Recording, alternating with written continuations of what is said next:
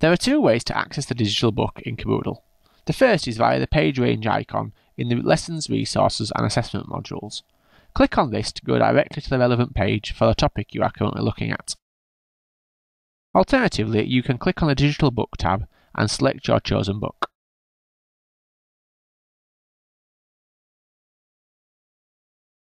Use the tools at the bottom of the page to find your way around the book.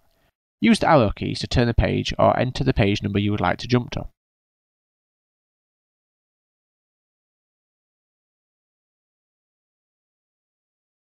You can also use the contents list to look for specific sections.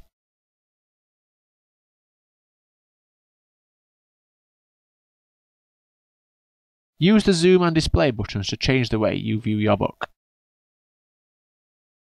The annotation tools allow you to highlight and mark up your digital book. Select Tool, make your annotations and click Save.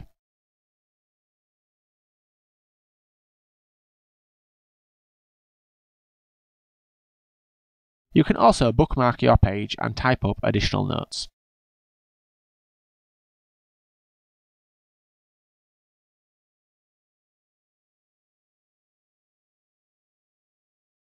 Use the Resources button to link directly to the resources relating to the current page spread.